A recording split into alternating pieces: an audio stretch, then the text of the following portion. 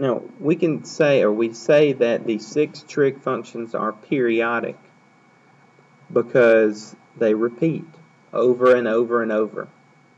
Um, that's the reason why we were able to subtract 2 pi or 360 degrees from an angle measure if it was larger than 360 degrees or 2 pi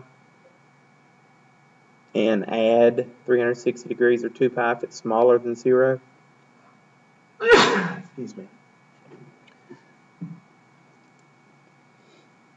So the actual period, so when do they repeat? The period for sine,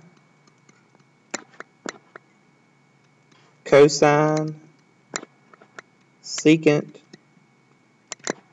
and cosecant. The period for these four functions are all the same. They repeat every 2 pi.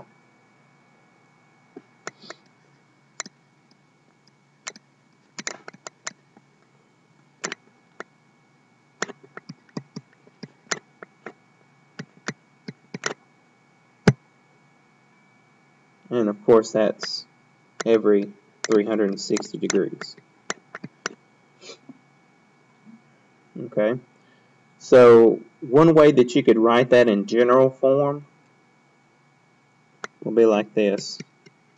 The sine of theta plus 2 pi k. Crazy looking k. Alright, 2 pi k is equal to the sine of theta. That's what uh, we use this back. That's how we were able to subtract or add 2 pi as many times as we need to. It's the same for cosine, secant, and cosecant. But what about the other two trig functions that I haven't mentioned? Tangent and cotangent.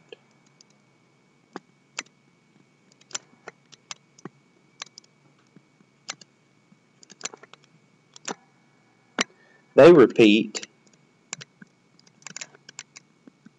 every pi. Of course, that is 180 degrees. So what that means is if your angle measure is less than 0 degrees or 0 radians, you could just actually add pi or pi or 180 degrees as many times as you needed to or if, if the angle measure is larger than